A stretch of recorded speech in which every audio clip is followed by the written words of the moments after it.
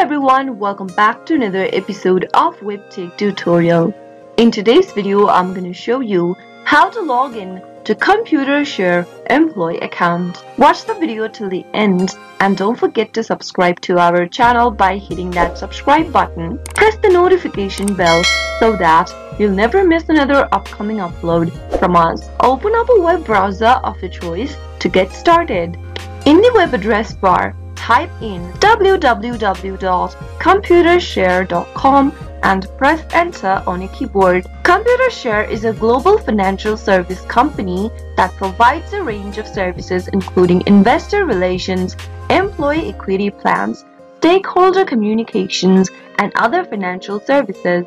As an employee, you can easily log into your account through the Computershare employee login portal. From the official webpage, click on this login to employee online link on the right hand side of the screen and on the next page, type in your company code that you are employed in or the company name and click next. On the next page, click on the login button as an existing user.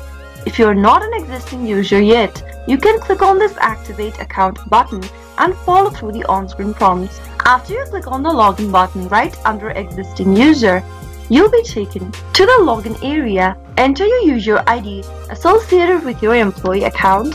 If you don't remember your user ID during the process, click on the forgot user ID link and follow through the on-screen prompts. After you are done entering the credential, click the next button. Enter the characters that are shown right beneath your user ID text box and then Click the next button in order to end up on the next page. Type in your password correct and you'll be able to log into your Computershare employee account. That is how it can be done. I hope the tutorial was helpful to you.